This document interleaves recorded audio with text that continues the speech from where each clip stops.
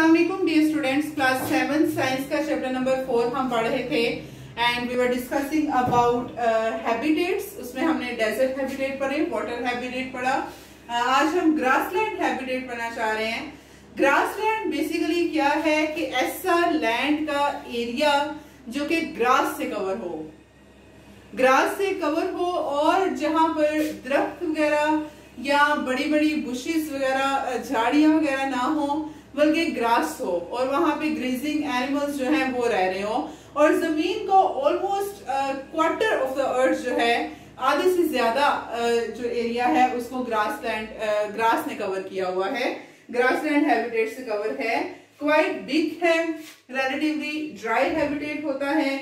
और उसके अलावा विंडी भी होता है। हवा चल रही होती है। ग्रासी है। और फिर इसलिए जैसे कि ग्रास लैंड है तो यहाँ पर जो ग्रेजिंग एनिमल्स हैं, जैसे शीप्स हैं, या जिब्रा हैं जिराफ हैं, या उसके अलावा ऑस्ट्रिच वगैरह हैं तो वो ग्रासलैंड हैबिटेट में रहते हैं। ग्रासलैंड हैबिटेट की दो आगे से फॉर्म्स हैं टाइप्स हैं temperate grassland tropical grassland temperate grassland में हमें पता चल रहा है टेम्परेट मीन टेम्परेचर कि टेम्परेट ग्रासलैंड में दो एक्सट्रीम वेदर्स पाए जाते हैं। कभी बहुत ज़्यादा सर्दी हो जाती है और कभी बहुत ज़्यादा गर्मी हो जाती है हॉट वेदर हो जाता है। कोल्ड और हार्ड वेदर्स जो हैं, ये टेम्परेट ग्रासलैंड में पाए जाते हैं टू एक्सट्रीम वेदर्स और ये जो टेम्परेट ग्रासलैंड है, अगर हम अर्थ का जो इक्वेटर है इक्वेटर से देखें तो इक्वेटर से जरा ये थोड़ा सा दूर होता है टेम्परेट ग्रासलैंड और उसके बाद ट्रॉपिकल ग्रासलैंड जो कि इक्वेटर के जरा करीब होता है और ट्रॉपिकल ग्रासलैंड जो है वो पूरा का पूरा साल जो है ना वो गर्म ही रहता है हॉट रहता है। इक्वेटर के करीब है, इसलिए पूरा का पूरा साल वो गर्म जो है ये ग्रासलैंड रहता है।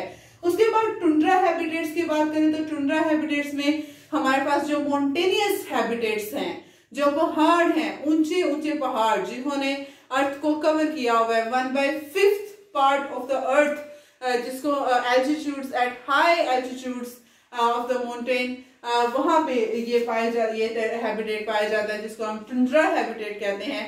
और टुंड्रा हैबिटेट में एक्चुअली हमारे पास आर्कटिक uh, और एल्पाइन टुंड्रा uh, दो तरह के आ जाते हैं।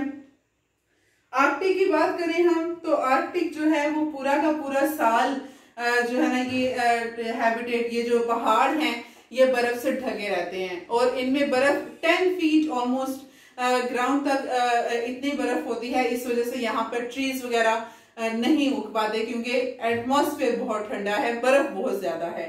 उसकी वजह से, और दूसरा आर्कटिक टुंड्रा में फिर इसलिए यहाँ पर ट्रीज नहीं है।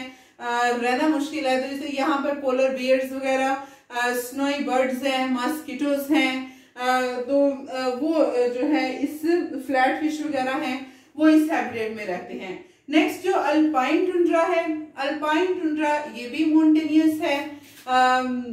वो नहीं है, ठंडा नहीं है लाइक बर्फ़ नहीं जमी, इन पहाड़ों में बर्फ़ नहीं जमी होती, लेकिन ये पहाड़ ग्रासी होते हैं और चूँकि ये बहुत ऊपर होते हैं एल्टीट्यूड पर होते हैं, उस वजह से यहाँ पर वेदर बहुत ज़्यादा कोल्ड होता है। वेदर भी कोल्ड है क्योंकि काफ़ी हाइट पे है वेदर ठंडा होता है और ठंडा वेदर होने की वजह से यहाँ पर भी ट्रीज का जो है वो उगना मुश्किल होता है। ट्रीज यहाँ पे भी ग्रोथ नहीं होती। उसके बाद मैमल्स हैं, जैसे माउंटेन गोड्स वगैरह हैं। यहाँ पर एल्पाइन टुंड्रा में वो रहती हैं माउंटेन गोड्स वगैरह। या शीप्स हैं या बर्ड्स हैं बीटल्स हैं ग्रास होपर्स हैं। तो वो अल्पाइन टुंड्रा में रहते हैं।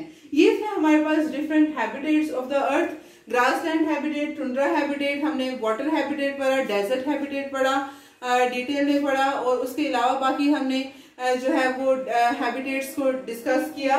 ये थे हमारे पास हैबिटेट्स कल इंशाल्लाह हम नेक्स्ट अपना लेक्चर पढ़ेंगे। आज के लिए इतना ही। अस्सलाम वालेकुम अल्लाह हाफिज़।